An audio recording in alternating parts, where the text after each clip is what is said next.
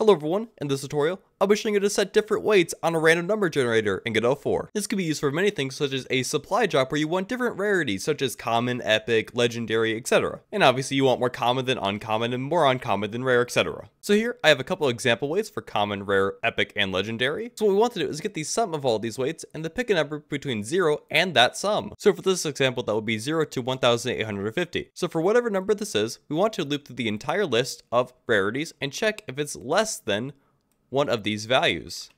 So let's say the total is 400. Well, then it will be a common. However, as we know, we can go above a thousand. This is how we get lower rarities. So let's say we have 1300 as our rarity. Well, we can't fit it into a thousand, so we'll simply subtract that from here. And now we're left with 300. Excuse my poor drawing, drawing with the mouse. So this fits into rare. So as you can start seeing, the higher the number we have, the more rare of item we get. So let's say it's 1550. So we first check common. It can't fit, so we subtract 1000. We're now left with 550. It can't fit into rare, so we subtract 500. Now we're left with only 50. But this can fit into epic. So that's our rarity. So in our code now, let's create a new variable. Let's just call it rarities. So this will be a dictionary, so that way we can have a name and a number. And I'll add in common with its associated value. I'll do rare with this value. And I've gone ahead and added the rest of the values. Let's initiate the RNG. So RNG gets random number generator dot new. Let's go and create a new function. Let's just call it get rarity. In here, we will randomize our RNG. So RNG dot randomize.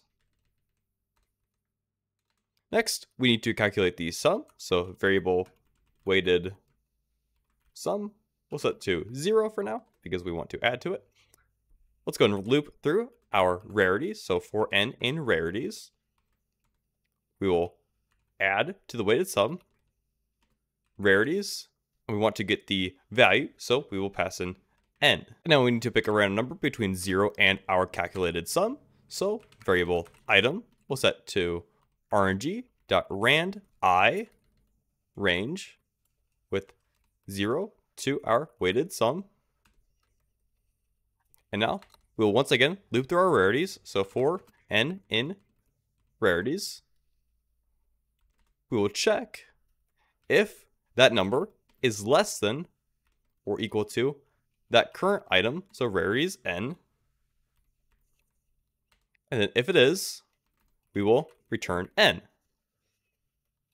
And then if it's not, we will simply subtract that rarity from our item. To test this, let's create a new ready function. Then I will print get rarity. Now if we press play, you'll see that we actually got rare. And to really test this, let's create a for loop. So for n in, let's say 100, and then we'll print the rarity for 100 items. You'll see now, we can look here, you'll see that we get quite a few more commons than rares, more rares than epics, and more epics than legendaries. Anyways guys, if you have any questions or comments, please leave them down below, and don't forget to like and subscribe. Thank you!